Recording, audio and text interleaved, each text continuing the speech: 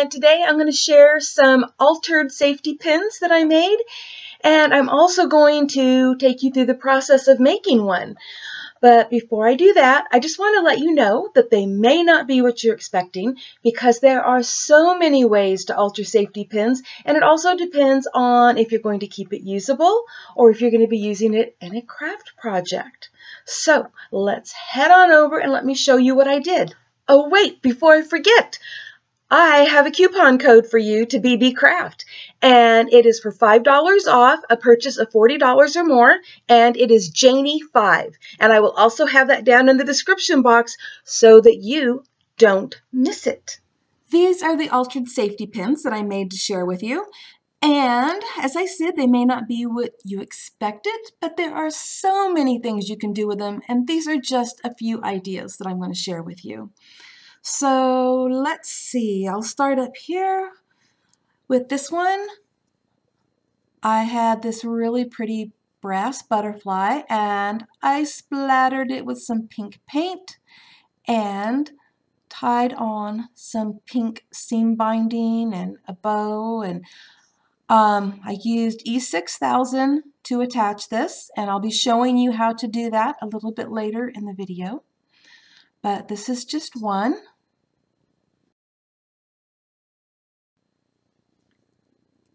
And this is another one of my favorites. So I glued on a piece of lace and I used Beacon Fabri-Tac to just glue it across the, um, the safety pin right there. And then also use Fabri-Tac to glue on this really pretty um, silky flower. And also to glue on the flat back pearls across the top. And again, E6000 for gluing on this pretty silver butterfly. And then I made some little charms to hang down the sides.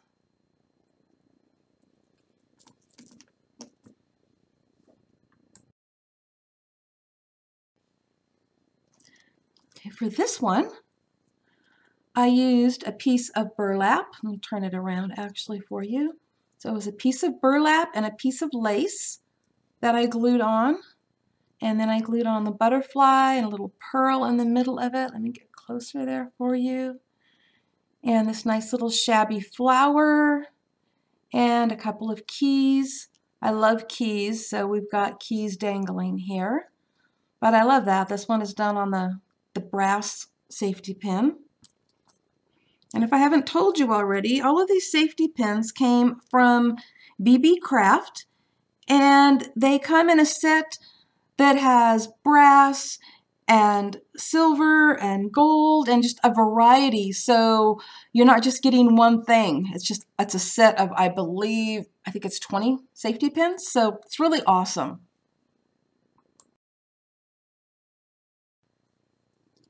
Now this is a fun one.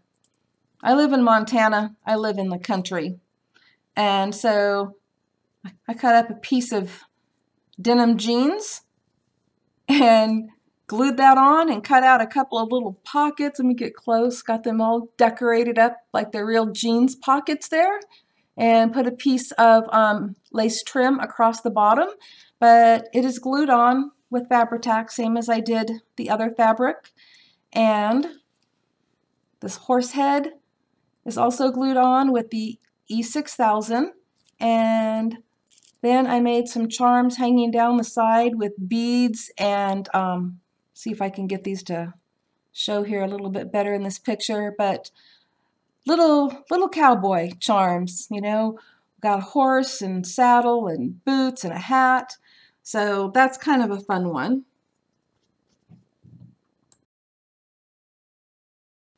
So after sharing these with my daughter, um, she pointed out that I didn't make any of them that went, you know, up and down or that can be um, you know, worn in different ways because she said that she likes to wear hers, you know, up and down or cattywampus and couldn't do that with these other ones that I made.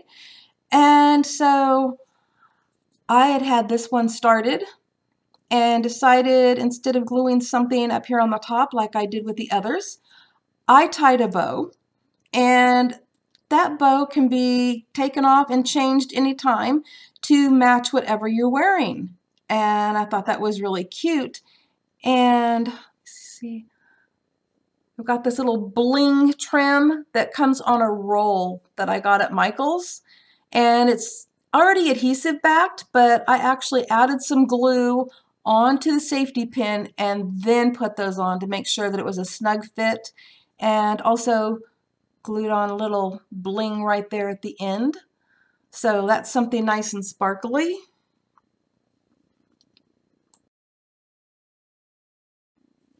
And also this, which can be worn absolutely any direction. And that flower was Actually, I don't know where I got it. I think somebody gifted it to me or it was attached to something somebody gave me, but it did not have this in the middle. This was just some bling that I had that I also added to the flower. So again, this is just adhered on that front piece and I'm going to show you how to do that. These altered safety pins are not only great for hanging off from scarves and sweaters and jackets, but they're also cute to hang off purses. And this is just a small purse, but it doesn't matter what size. I think that they're just adorable. And if you want to learn how to make these cute little purses, I'll put a link below in the description box. Here's an example of using an altered safety pin in a craft project. My friend Marlene made this, and she took a bunch of jewelry that had special meaning to her, and she glued it all to this M for Marlene. And here is the safety pin she used up at the top, and that represents her grandchildren. And as you can see, if you don't need the safety pin to be functional, you can slide beads and things onto the opening piece. Okay, I've got everything together here for us to make an altered safety pin. And I've already put together these little charms. And they're nice little dangly ones. And I did that by using these eye pins to put the beads on. And I've showed the eye pins before. They come in this wonderful little, little kit here that has every color that you could want. I mean, silver, gold, brass, copper, everything. It's really an awesome little kit. You'll have tons of eye pins, and it comes in this little box to, to keep them all together. And so that's what I put the beads on. And then I connected the two different sets of charms right here in the middle. See if I can get it really close for you to see. I connected those two using the smallest the smallest little um, jump ring that comes in this kit.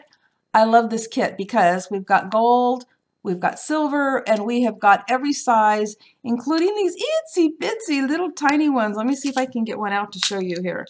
I mean, we're talking so tiny I almost couldn't work with it. Okay, here's some that are all connected together. Let me see if I could just show you one little tiny one there. They're like so tiny. Okay, so that's what I put them together with.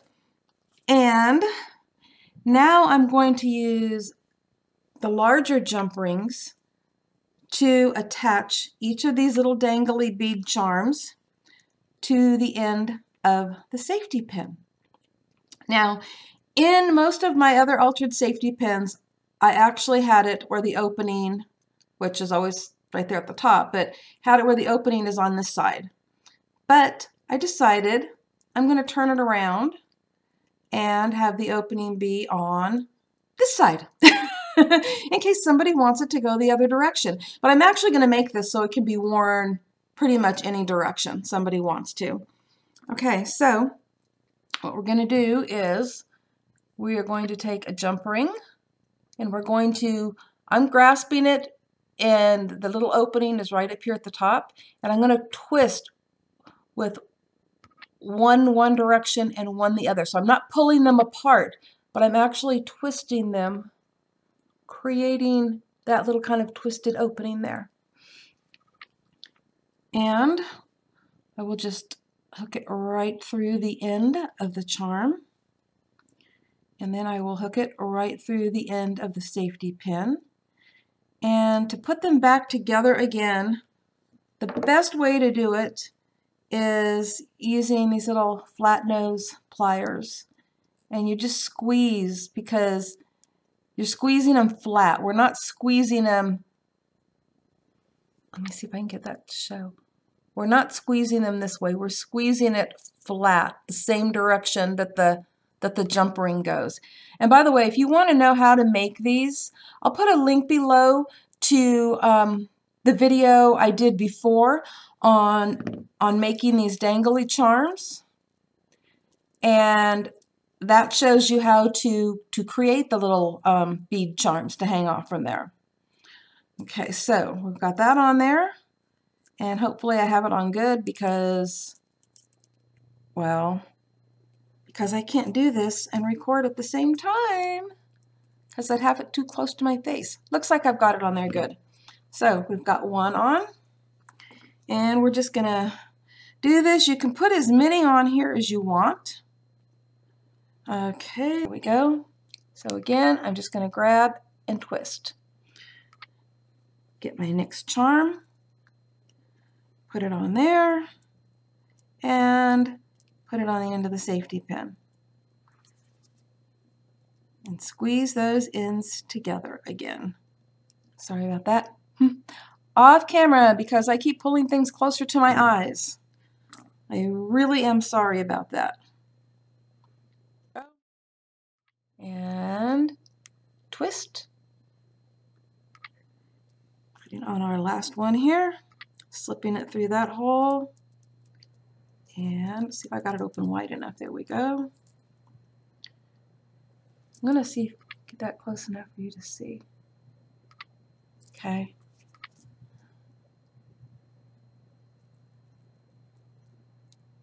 And then I'm just squeezing it and it goes right back together again.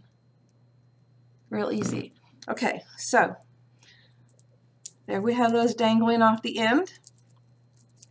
And now we'll get on to, whoops, I gotta turn it this way and make sure that I have it opening correctly. Okay, so I decided I had this um, old earring. This was actually an earring, not something I would wear. I picked it up at a secondhand store or a yard sale. I really don't remember. But I always like to pick up old jewelry to take apart, and I took off the earring part off the back. And that's what I'm going to use to put on this end. And it's really easy. You don't want to interfere with the safety pin part if you're going to be actually using this. If you're going to be using this for a craft project, it really doesn't matter. But if you're going to use it, make sure that you're not interfering with that. And so what I'm going to do is I'm going to be using E6000, which is an adhesive, and I'm just going to be putting it right along the top right along the top. So I don't want it to get down inside here or on the back, just right along the top here. And then I'm going to put this on there and it is going to have to sit and dry for a while. So let me do that here really quick. Open this up. You know, I should actually have something underneath me besides this really pretty placemat. But here we go. So I'm just putting it right along the edge. Okay. And let me get the cap on that really quick. Okay. So I'm just going to take this and decide which way I want that end to go. I think I want it to go on the inside. And I'm just going to sit that on there. So there's the back side. Just going to sit it on there. And we are going to let that dry. And when it's dry, we will have a really pretty safety pin that can either you know go this direction or this direction and the camera's facing down which makes it really difficult for me to hold it up and let you see it dangle so I'm going to set this aside and I'm going to show you one other thing so here's what the safety pin looks like, you know, before you do anything to it. And you just saw me glue that um, that little earring on the end. You can glue, you know, like I've glued butterflies, flowers, whatever you want. But something really cool. So, you know, we were talking about the um, dangly charms that that I made um, recently and had the video up for. Well, I started thinking, wouldn't it be really cool to have a collection of dangly charms and with whatever I'm wearing, whatever matches, I can just hang it right on the end like that. Wouldn't that be so cool? And you can just change it up anytime you want. You know, it's like, oh, this doesn't match what I'm wearing today. Let me hook on one that matches. I think that would just be an awesome idea. Thank you all for watching today, and I hope this inspired you to come up with some ideas of your own for altering safety pins. And don't forget, links are below to Beebeecraft and the products that I used, as well as that wonderful gift code. Happy crafting, everyone. Bye-bye.